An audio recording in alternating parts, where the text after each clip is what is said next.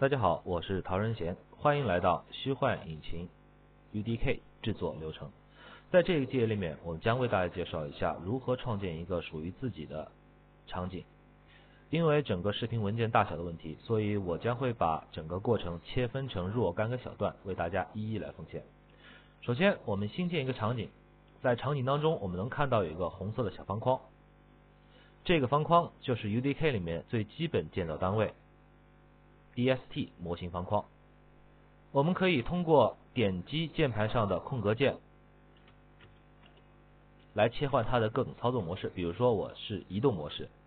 在我的前视图里，我可以拖它的左右移动。因为我在下面打开了自动粘自动吸附到单元格上，所以我的操作是很符合单元格的一个长度标识的。这样这样操作，其实在一些比较大的场景里面，你能够很好的去定义你的单元格有多大，怎么去建造它们。然后这是一个框，但它并不是一个实体模型，我们需要点击这个键，CGS Add。OK，这个时候我们就创建了一个基本的模型单元。这个时候我们还可以把它拉开，我们能够从其他的视图能看得到，我在蓝色的这个部分就是已经创建好的一个模型单元，而红色的部分则是我们刚才的一个建造框。我们可以把建造框拉的靠近它一些。现在我们能够通过它来看得到。我们的场景有一部分是切合在一起的，我们点击这个键，它就能够显示出它们两个模型的一个切合边，这样是可以帮你制造一些非标准单位的一些模型。比如说，我做一个楼梯，当然了，做楼梯有更方便的方式。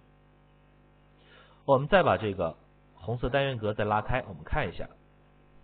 实际上，我们的切合并不是它现场给你做了两个面，比如说我们转换到线框模式，它实际上是两个 BSP 模型做一个即时的一个切合运算，所以才影响成这样的东西。那么我们想调整它怎么办呢？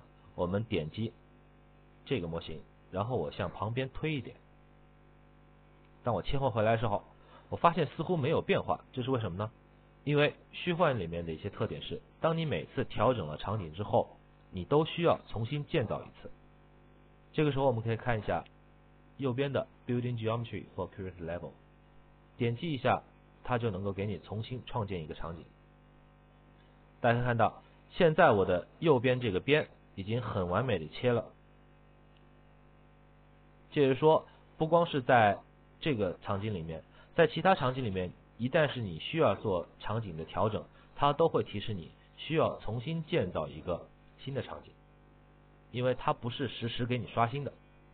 OK，如果我们想建造不是一个方块，而是一个平面怎么办呢？我们可以点击空格键来对它进行调整。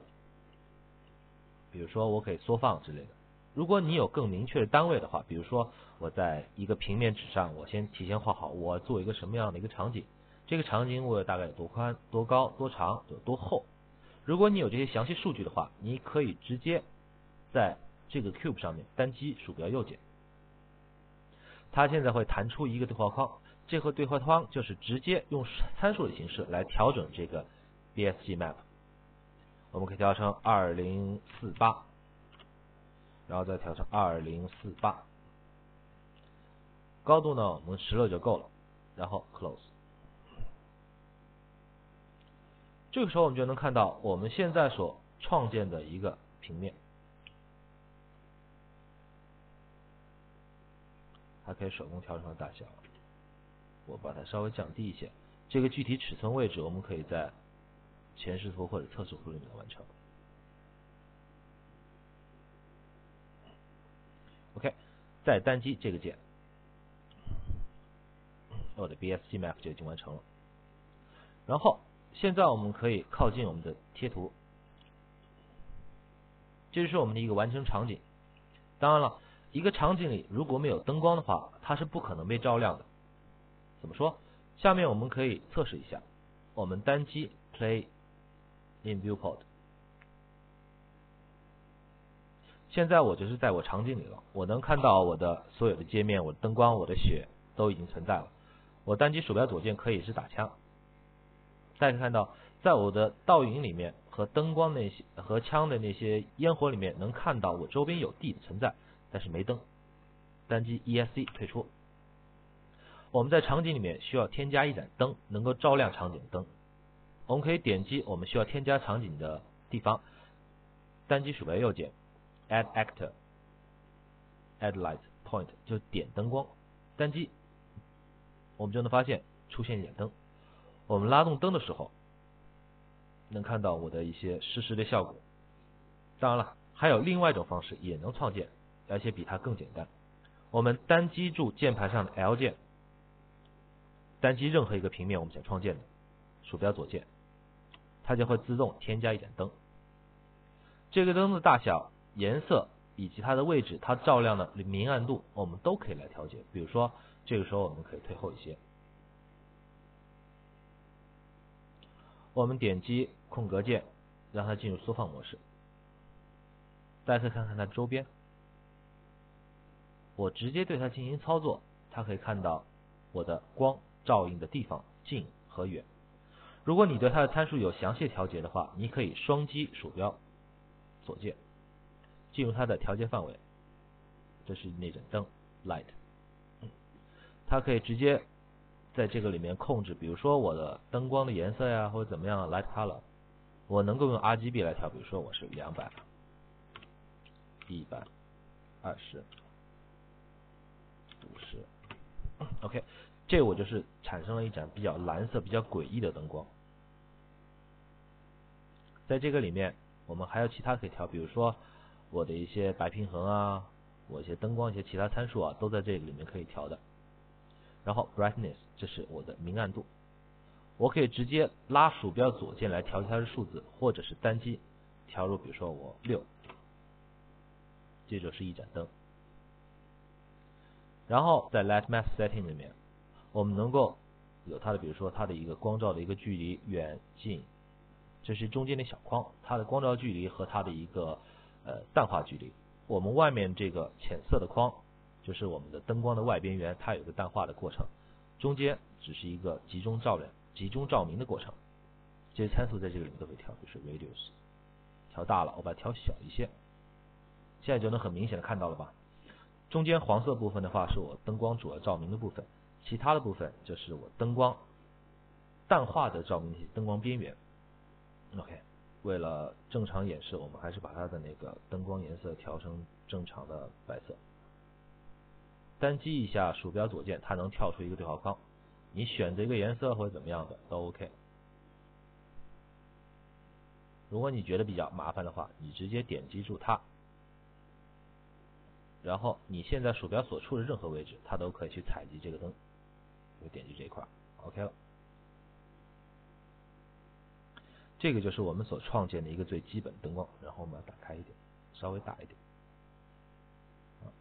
让我的辐射能够辐射到周边的这个小模型。然后 我们可以进入我们场景里面看一看。这个场景其实我们是并不能玩的，为什么？虽然说我们已经见到灯光了，我们可以看一下。虽然我已经有灯光了，但是我还是看不见，为什么呢？因为虚幻引擎里面要求是，所有场景一旦你被调整过，你必须得把它重新建造一次。我们看到楼底下的这个 Lighting needs to rebuild，我们单击它，或者是点击上面的灯光按钮，都可以重新建造这个灯。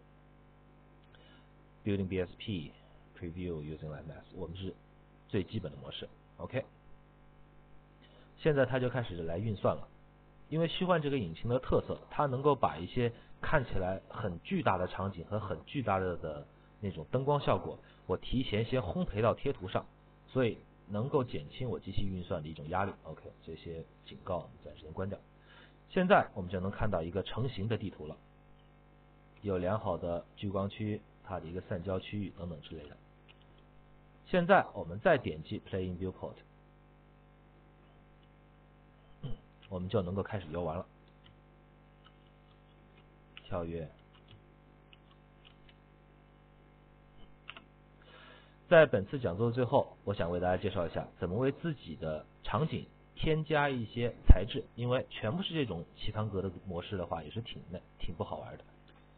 在这节课的后面，我将给大家介绍一下如何为自己所创建的场景去给一块材质。这个材质的话，因为为了节省时间，所以我们提前先不做了，先调用虚幻引擎自带的。我们可以点击 Open Content Browser 这个键，它就出现了我的一些 Content Browser 的一些浏览器，可以打开一下。在这边我们可以选择，比如说我们是要创建一个地板，那么我写可以选 F L O O R Floor 空格 B S P，因为我现在所创建是 B S P 场景模式，所以它必须选用 B S P 的贴图。我们先选用这样一个吧，M A C S Floor B S P Title One，点击鼠标左键不动，当它到我的场景上面时候，自动会出现一个加号，把这加号松开，我的场景就自动的贴上了这块 BSP 的贴图。我们可以走近点看看，场景其实做的很细的。这个场景模型，这个贴图它是自带了阿尔法和 OA 的一些效果，这其实我们也可以自己去做。其他的工具怎么去做呢？在我们下节里面会给大家详细的讲解。我们需要对这个贴图做调整吗？当然需要，因为没有人的一个石头场景有这么大，而且我的人也是相对会比较大一些的，所以这场景太细了。我们想需要调整，怎么调整呢？我们点击这个，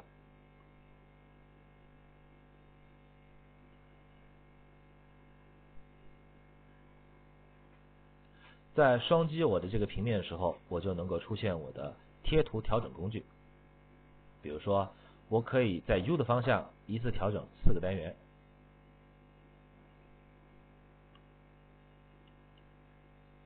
当我按住 Shift 键，按这个时候，它就会以相反的方向来调整。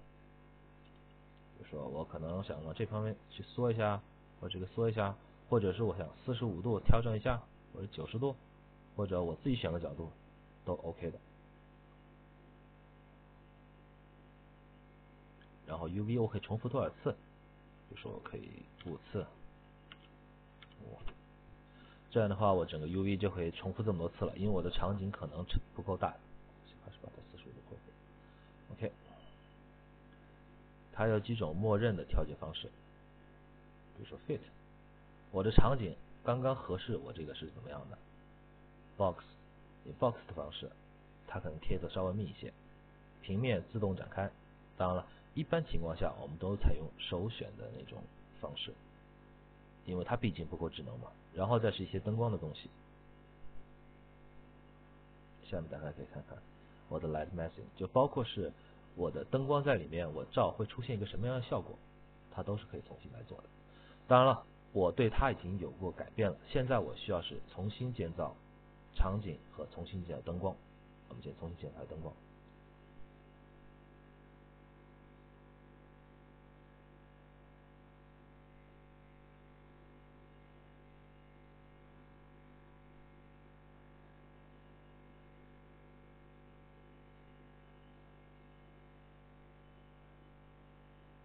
OK，建造完成。这些我们先暂时不管，因为我们的这个模型还没有建造任何体积。OK，现在回到我们场景当中，现在我们就开始正式的玩我们的游戏。这是我们自己的一个场景，有大有小，周边有很好的一个光影的一个淡化区域。哎呀，爬不上去，那个走高没办法。OK。这就是我们建造的第一个场景。在下一节课里面，我们将给大家介绍一下如何建造一个罗马斗兽场。在这个斗兽场里面，我们拥有上层和下层两种建筑方式，拥有一个楼梯，拥有一个隧道，以及一些开门、关门的特效。敬请期待。